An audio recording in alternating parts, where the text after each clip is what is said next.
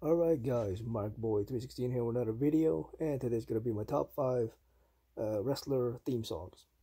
And coming up, coming in at number 5, the, for me, this will all be singles wrestlers too, uh, by the way, but coming in at number 5 was Eddie Guerrero, Latino Heat.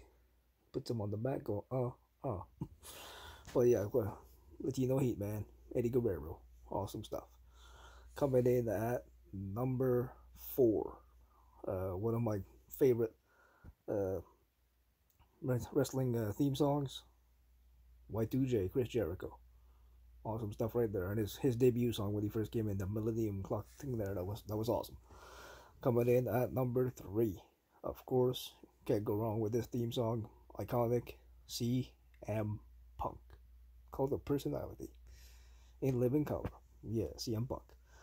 Coming in at number two uh, what do we got? Is the Hot Rod Roddy Piper. When you heard those bagpipes hit, man, you know something was gonna happen. Holy crap! And of course, number one of all time would have to be Stone Cold Steve Austin. When the glass broke, you knew hell was gonna happen. You know something crazy was gonna go down. It was gonna be nuts. So those are my top five uh, entrance themes. Uh, what are your entrance entrance entrance themes? Let me know.